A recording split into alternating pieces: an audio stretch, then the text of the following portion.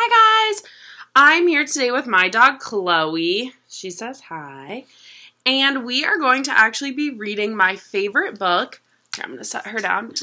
Um, that I really like to read as a child. I was cleaning out my closet today at my parents' house and I came across it and I thought I would just share it with you guys. It's called The Pink Party by Maryann Macdonald. All right.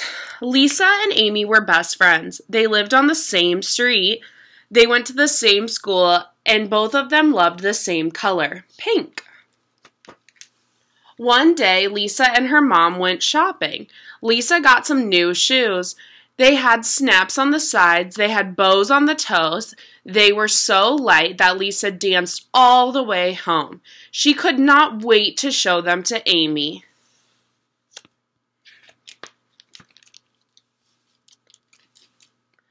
Lisa loved them too. Lisa let her try them on. Is it okay if I get some too? she asked. Lisa wished she would not. Amy had so many things that Lisa did not have. She had a treehouse, she had a bunk bed, and she had a kitten all her own. But Amy was her best friend, so Lisa said it was okay. Then Amy and her mom went to the shoe store, but the store did not have any more pink shoes. Never mind, said Amy's mom. You can have a pink lunchbox. So Amy got a pink lunchbox. It was the nicest lunchbox that Lisa had ever seen. I want a pink lunchbox too, Lisa told her mom. But mom said no. Your old lunchbox is fine, she said. It is not, said Lisa. It is a dumb lunchbox. It is not pink. You do not need a new lunchbox, said Mom, but you do need a pencil case. How about a pink one? Lisa nodded. So they went to the store. Lisa picked out a pink pencil case. It had two pockets, it had strawberries on it, and it zipped shut. Lisa took the new pencil case home. She sat in her rocker. She held her new pencil case. She rocked her rocker and she zipped her pencil case. She felt better. The next morning, she put on new shoes. She took her new pink pencil case. She went next door to walk to the house to school with Amy.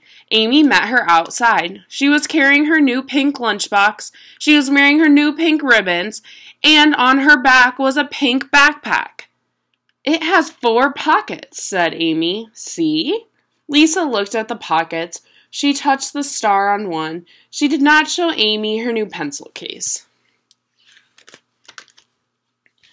Daddy said at dinner, If you like pink so much, let's paint your rocking chair pink.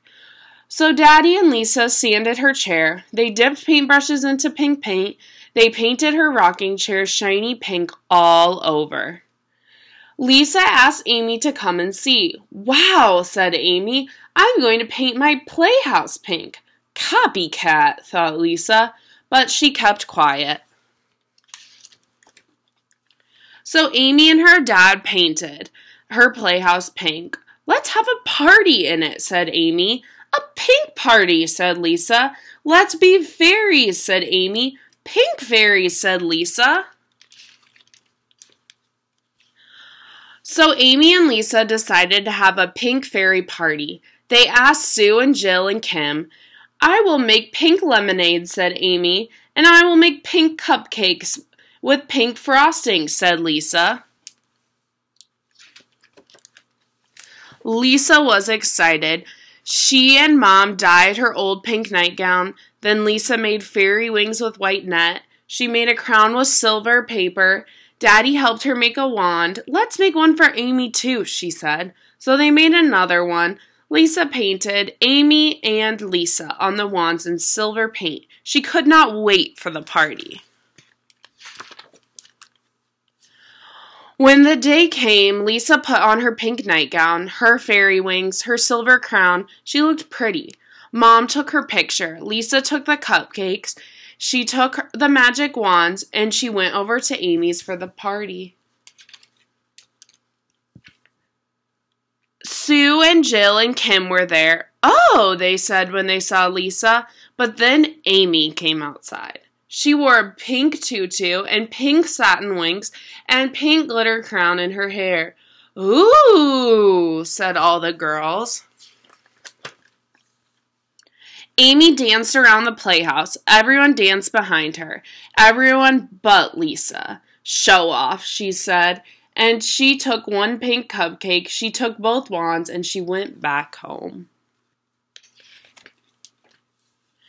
She sat down in her pink rocker. She rocked and rocked. She ate her cupcake, but she did not feel any better.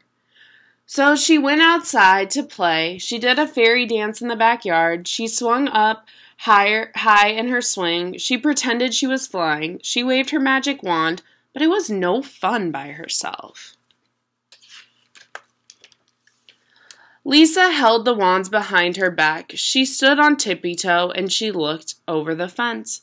There sat Amy all by herself. The pink party was over. Where is everyone? Lisa asked. Amy did not answer.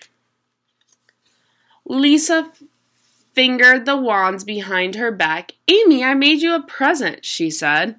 She held up the shiny wand. Amy smiled. She took the wand. She touched the silver paint. It says Amy, she said. Mine says Lisa, said Lisa. Let's play, said Amy. So Amy and Lisa waved their wands and danced. They took turns flying high in the swing. They took turns wearing Amy's glittery crown. They took turns wearing Lisa's pink shoes. You will always be my best friend, said Amy. Lisa smiled. Her face turned a happy pink. That is the story of The Pink Party by Mary Maryann Macdonald. Thanks, guys, for listening to me, and I miss you guys so much, and I hope I get to see you guys soon. Bye!